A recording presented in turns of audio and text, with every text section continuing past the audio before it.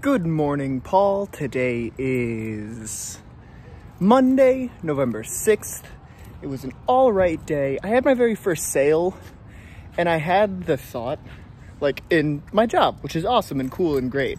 But I've always had the thought since working at Park Place, like, oh, maybe I do like sales, I just don't like data center hardware maintenance. I know my personality is so like well fit towards sales because I can talk to anybody. I've got that kind of like bubbly personality. I just don't think I like sales. I just don't think there's something about like selling. Uh, there's a grind set to it that just kind of makes me feel skeevy. I'm still gonna do it. I, it's a job. I'm, you know, if I find another sales job, I'm really gonna try to do something else, but it's a job, so, you know just so happens to be what I'm good at, and cooking doesn't pay the bills, I guess. Anyways, I'm out walking Gib, just got done with a workout, and taking for a quick fetch. Cheers. yeah. Oh.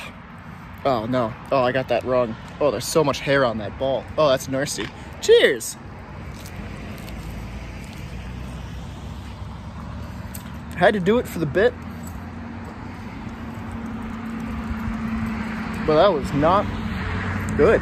Love you, Paul.